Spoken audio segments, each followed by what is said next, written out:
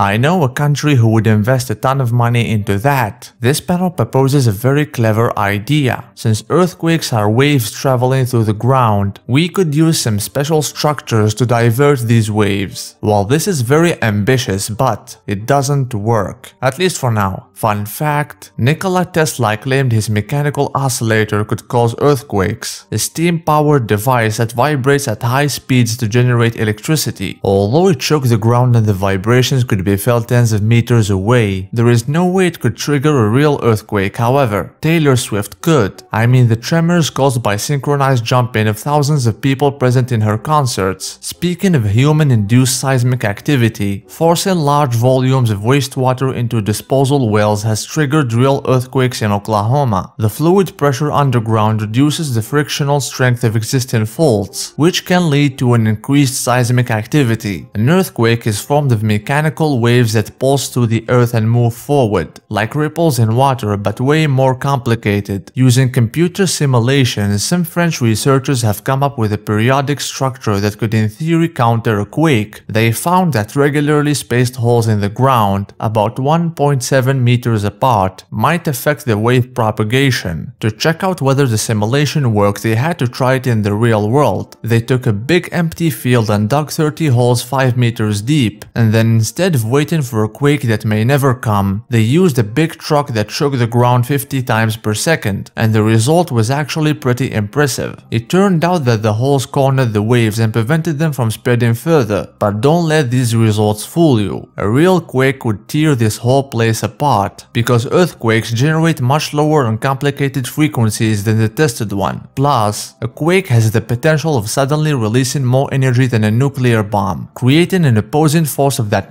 magnitude would be practically impossible, at least for now. Seismic base isolation is a more realistic approach that has actually saved so many people and structures. The building's foundation is separated from the ground, allowing it to oscillate slightly during an earthquake to absorb the shock, before safely going back to its place.